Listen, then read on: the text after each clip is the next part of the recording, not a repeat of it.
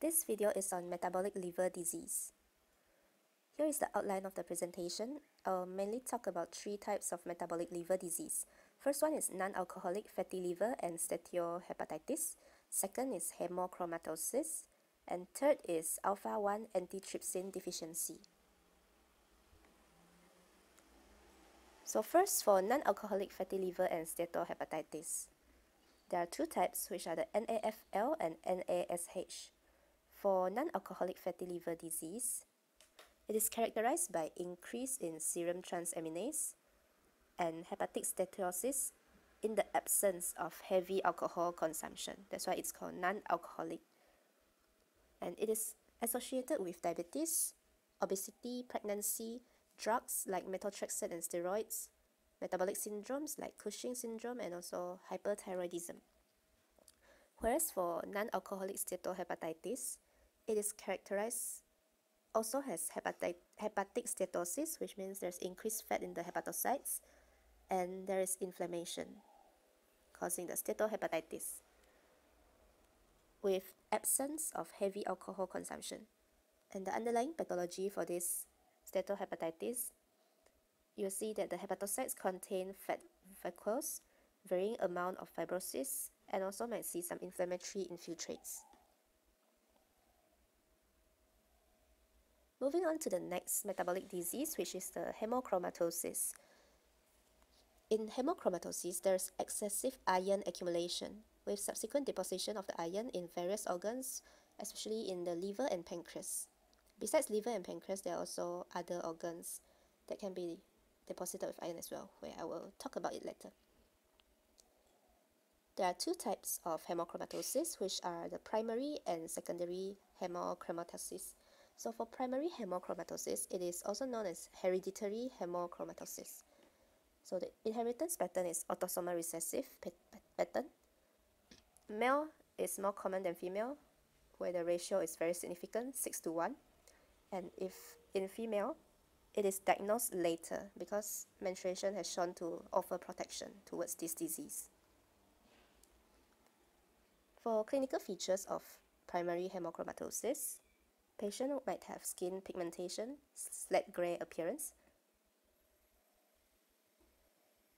anterior pituitary gland. If the iron is deposited in the anterior pituitary gland, the patient might complain of delayed puberty, there might be hypogonadism, amenorrhea, impotence or decreased libido, and also testicular atrophy. And it can also cause pituitary failure, which causes hypopituitarism. If the iron deposited in the liver, it can cause hepatomegaly, causing liver cirrhosis, and can also progress to hepatocellular carcinoma. In pancreas, it will cause diabetes mellitus. If the iron is deposited in the heart, can cause cardiomyopathy or arrhythmia. And for musculoskeletal system, can cause pseudo gout as well.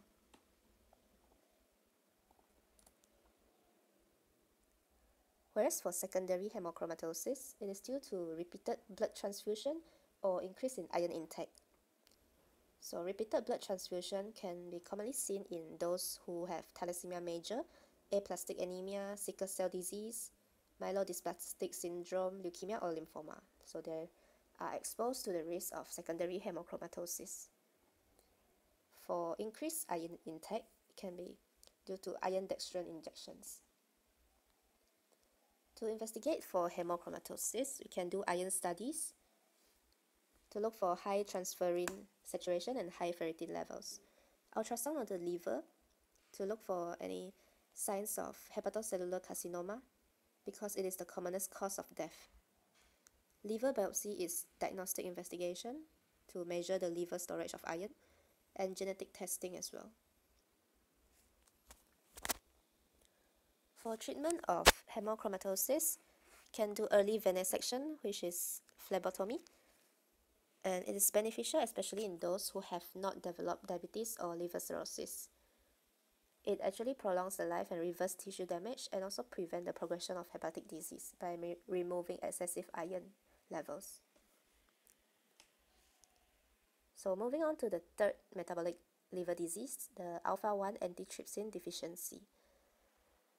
The inheritance pattern is autosomal dominant pattern and it is characterized by abnormally low, low levels of alpha-1 antitrypsin. Clinical features, the patient may present with liver cirrhosis, or if there is chronic progression can cause hepatocellular carcinoma. They can also present with COPD, which is chronic obstructive pulmonary disease. And to investigate for this alpha-1 antitrypsin deficiency, we can do liver biopsy to look for PAS positive cytoplasmic globules in the periportal hepatocytes.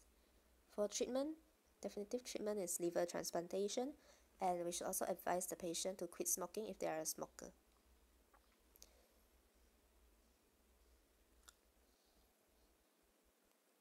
That's all for this video. Thank you.